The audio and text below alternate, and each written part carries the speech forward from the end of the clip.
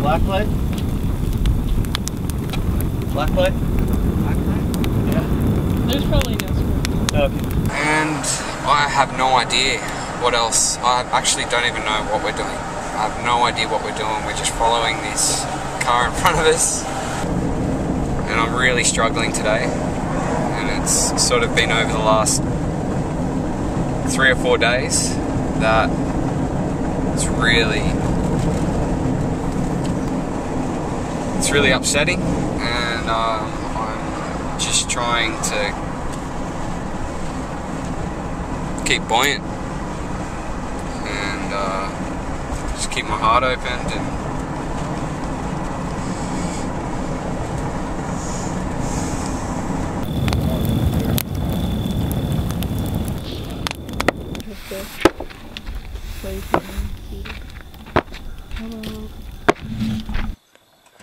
we're gonna we're, we're not allowed to take cameras in so we will um we'll, we're gonna have a break halfway through so we'll try and check in then. Cool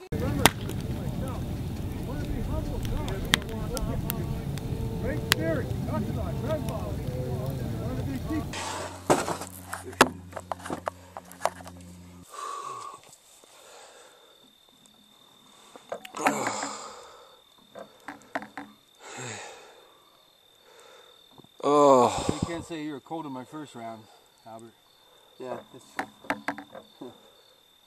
yeah. oh I was almost out of there Albert Uh huh.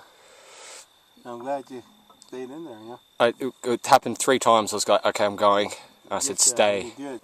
Kind of crazy because it's not, got used to being like hurting you.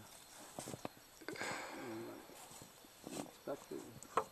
It's like such a comfortable world like it's everything is tuned to be comfortable. Uh-huh, air yeah. conditioning comfortable seats Yeah, food. And then when you put It's okay, you know, it doesn't hurt no more. but it's it's what's really beautiful about it is it's just being with uncomfortability Mm-hmm. in your body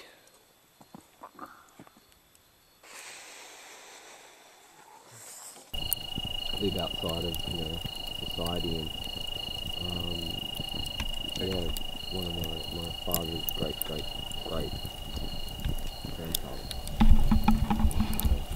is, I want to hold reverence within myself.